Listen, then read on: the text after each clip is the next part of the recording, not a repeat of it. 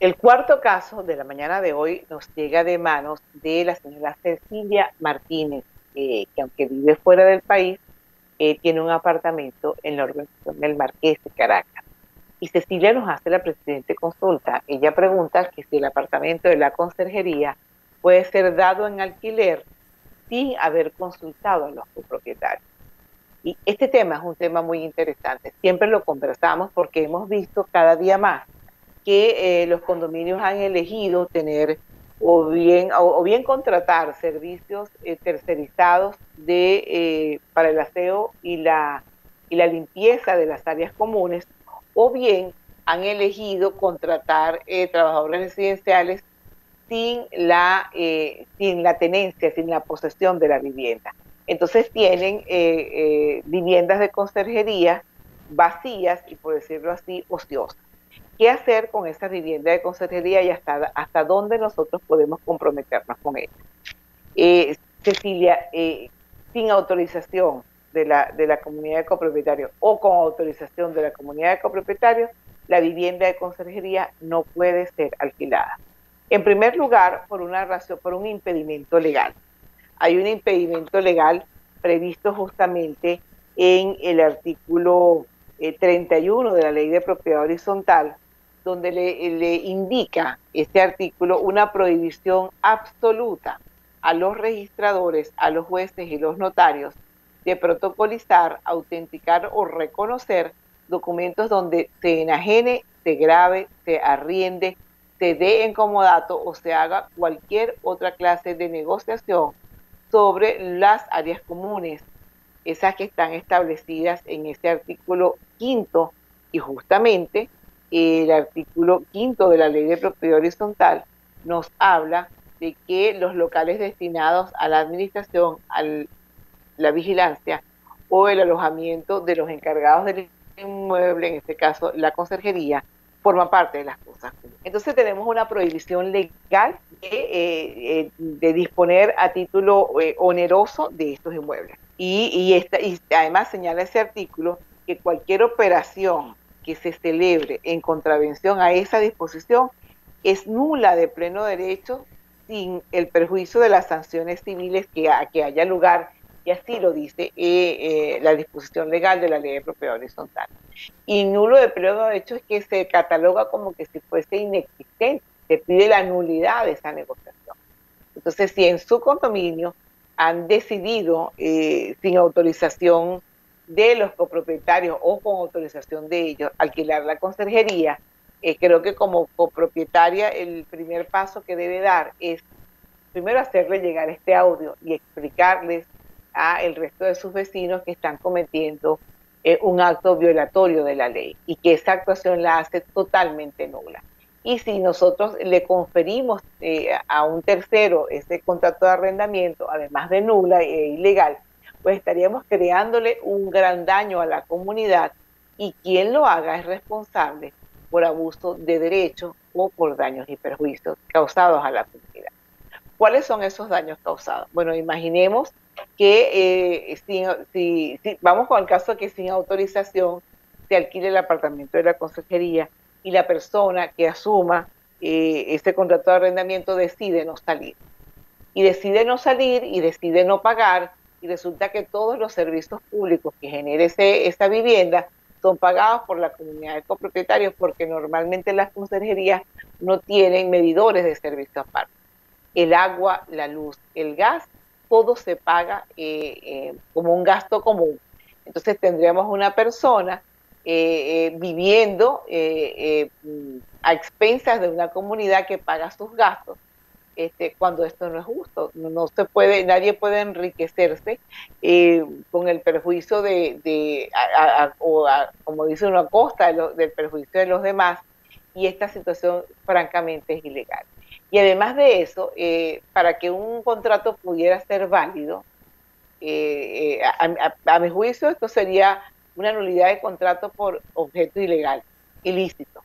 Pero para que esto pudiera ser válido, legalmente válido, yo tendría que ir hasta, hasta el tsunami. Y además de eso, eh, pedir una, una autorización para arrendar, cumplir una serie de requisitos, pedir además de eso la regulación del alquiler, una gran cantidad de, de, parámetros que deben cumplirse o que deben cumplir los arrendadores de vivienda. Eh, pero todo eso que debe cumplirse sería absolutamente inocuo si tenemos ya decidido o tenemos, eh, nosotros tenemos mm, claro de que el artículo 31 nos prohíbe eh, el arrendamiento de la vivienda. ¿Cómo proceder si ya se arrendó la vivienda, si tenemos una persona ya? Pues justamente la vía para pedir eh, la, la declaratoria de nulidad de este contrato es la vía civil. No es la vía del arrendamiento inmobiliario, sino justamente lo que hay que pedir es una nulidad del contrato. Se puede acudir ante el SUNAVI a crear un expediente administrativo para un expediente administrativo para conceder un plazo de desocupación si pudiera ser. Pero no em, eh, desde mi punto de vista bajo, bajo la luz de la ley de arrendamientos inmobiliarios, porque recordemos que el objeto es ilícito. Entonces habría que acudir ante el tribunal correspondiente, de acuerdo a la cuantía, para pedir la nulidad del contrato por objeto ilícito. Y una vez que se tenga la nulidad de ese contrato, es donde nosotros tenemos que solicitar que se le conceda un plazo al inquilino para que pueda desocupar su casa. Es ahí donde teniendo esa, esa declaración nosotros podemos exigir la desocupación y bueno, y el juez de la causa le dará el plazo que establece la ley para poder, em, para poder hacer la entrega del mismo. Esta es el, consejo y esta es la recomendación que nosotros le damos.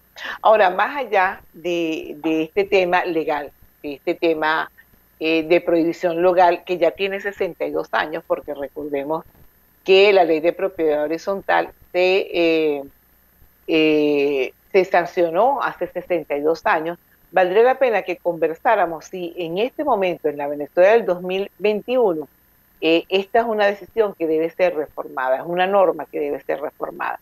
Algunas personas son de la idea de que sí debe dársele a la comunidad la posibilidad de dar en arrendamiento o en algunas ocasiones han llegado hasta decir de darle la posibilidad de poder vender las conserjerías y las áreas comunes para reinvertirlas en otras cosas.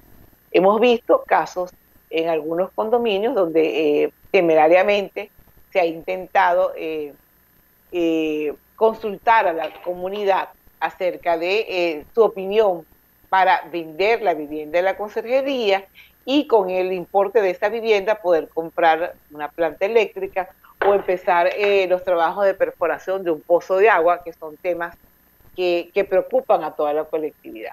Pero ante esta disposición legal, ante la, imposibilidad de poder protocolizar un, documento como esto porque no tiene asignado una alícuota, no aparece como una vivienda este, de apropiación individual eh, em, y además de eso no, habría la manera, no habría la manera de garantizarle a un propietario eh, o a la persona que compra de que va a poder transmitirla, que va a poder transmitir la propiedad. Entonces, ante estas situaciones es preferible em, pensar a futuro en la modificación de la ley de propiedad horizontal, que hemos llamado la ley de condominios, y someter a debate y someter a consulta de la comunidad si es posible y es factible de que casos como, como esto que estamos hablando, pues realmente las personas puedan disponer de la vivienda en consejería. Es todo un tema, es todo un tema porque cuando nosotros compramos en propiedad horizontal, justamente hubo cosas que nos llamó la atención.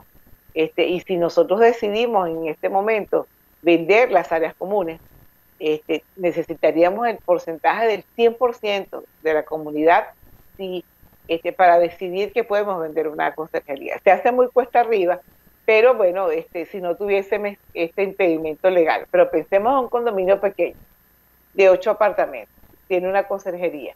Las ocho personas están dispuestas, hay un cambio de ley que permite hacerlo, y todos están dispuestos a que así se haga. Pues bueno, eh, ahí hay una posibilidad. No todos los casos son iguales, cada uno de los casos tiene circunstancias eh, que los caracterizan, pero por lo pronto, en el aquí y el ahora, no hay posibilidad jurídica de alquilar una vivienda de consejería para una para, para habitación, para vivienda de habitación de un tercero, eh, por disposición exacta del artículo 31 de la Ley de Propiedad Horizontal. De esta manera le damos respuesta a Cecilia Martínez acerca del tema que consultó desde el servicio de atención pública y gratuita de mi condominio.com.